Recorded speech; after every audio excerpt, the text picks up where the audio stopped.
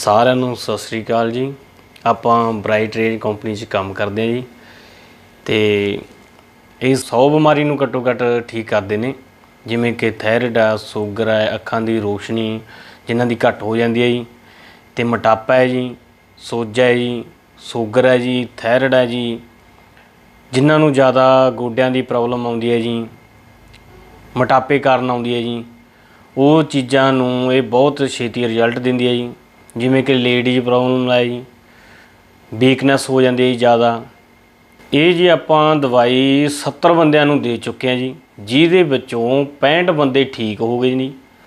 ਤੇ ਜਿਹੜੇ ਦੇਸੀ ਤੇ ਅੰਗਰੇਜ਼ੀ ਦਵਾਈਆਂ ਖਾ ਖਾ ਕੇ ਅੱਕੇ ਪਏ ਆ ਜੀ, ਤੇ ਉਹ ਇਸ ਦਵਾਈ ਨੂੰ ਖਾ ਕੇ ਉਹਦਾ ਰਿਜ਼ਲਟ ਲੈ ਸਕਦੇ ਜੀ, ਜਿਵੇਂ ਕਿ ਅਸੀਂ ਲੈਤਾ ਅਸੀਂ ਬਹੁਤ ਦਵਾਈਆਂ ਖਾਧੀਆਂ ਤੇ ਅਸੀਂ ਵੀ ਬਿਲਕੁਲ ਹੁਣ ਠੀਕ ਹੈ ਜੀ।